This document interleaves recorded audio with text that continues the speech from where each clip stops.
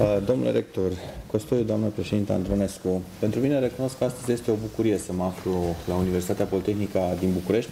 Nu după mult timp, după vreo 10 zile am fost uh, la deschiderea anului universitar. Recunosc o deschidere extraordinară și am văzut atunci pentru prima dată aula realizată în ultima perioadă în uh, campus universitar.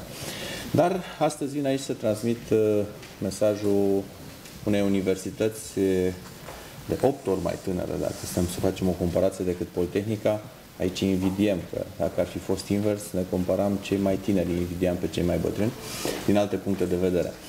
Uh, în medie tot la fel o să fie timpii de antenă, dacă am negociat cu colegul Dan Cașcaval să pot să vorbesc uh, și din timpul dânsului. Uh, ce pot să vă spun?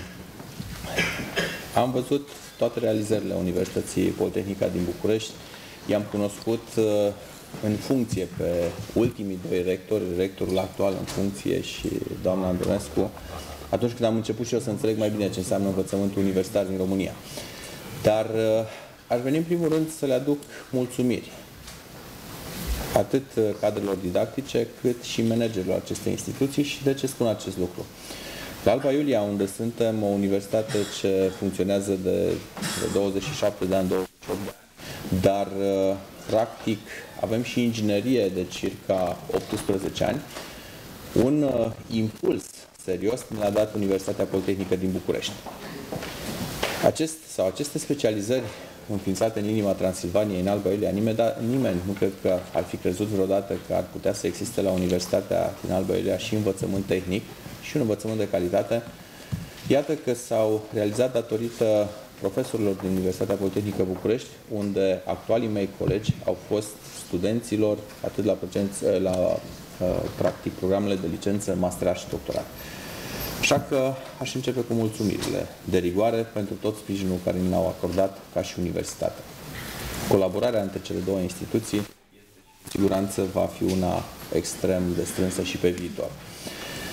Ceea ce face Politehnica din București pentru învățământul din România este un lucru remarcabil, pentru că ingineria românească, prin personalitățile care s-au format aici și care reușesc să profeseze, trebuie să ne gândim întotdeauna că livrăm specialiști pentru ziua de mâine.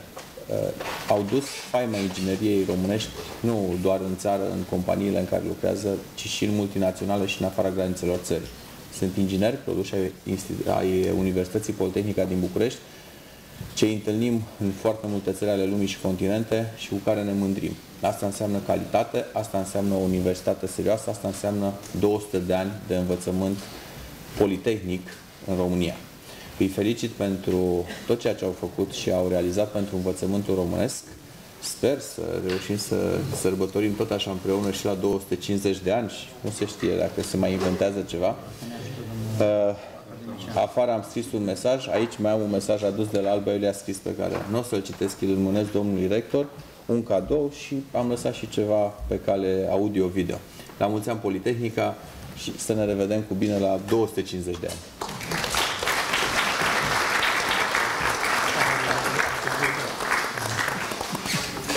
Să fie bine. Bine.